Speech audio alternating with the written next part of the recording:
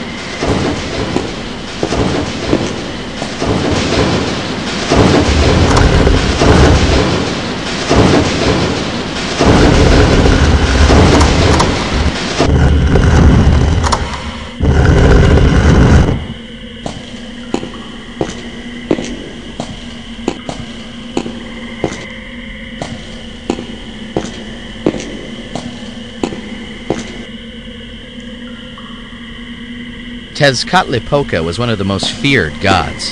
His name means smoking mirror. They called him that because, in addition to being a fierce warrior, he was also known for his pranks and illusions. Kind of the Mayan Doug Henning.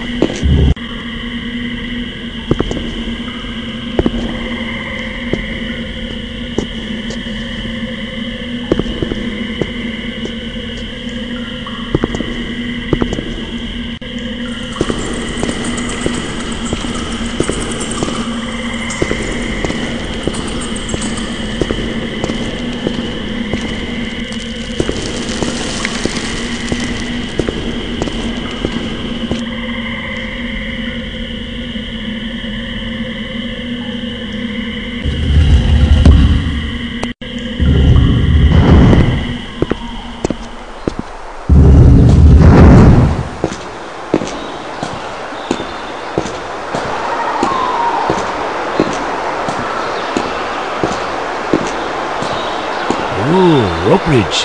Very dangerous. You go first.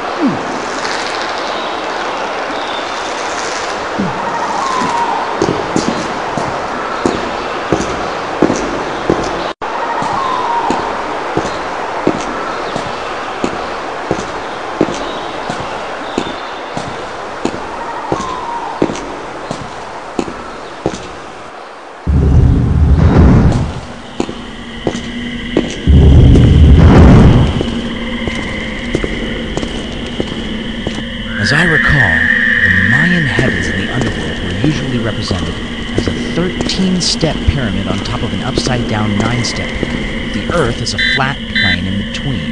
The 13 gods of the heavens rule the daytime, and the 9 gods of the underworld the night. That's why they called them the Lords of the Night. Their heavens were pretty exclusive. Only certain people, like sacrifice victims and children, were let in. The underworld was for everyone else. Anyone that didn't get into heaven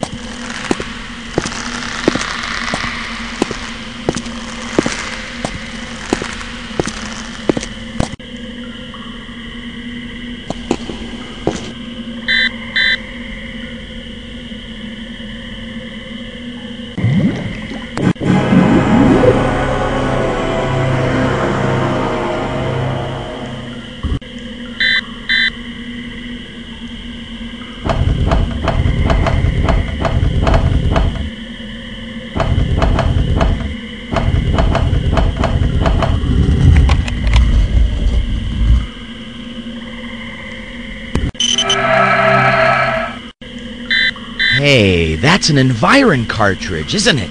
And it's loose. It hasn't been incorporated into the artifact like in the other time zone.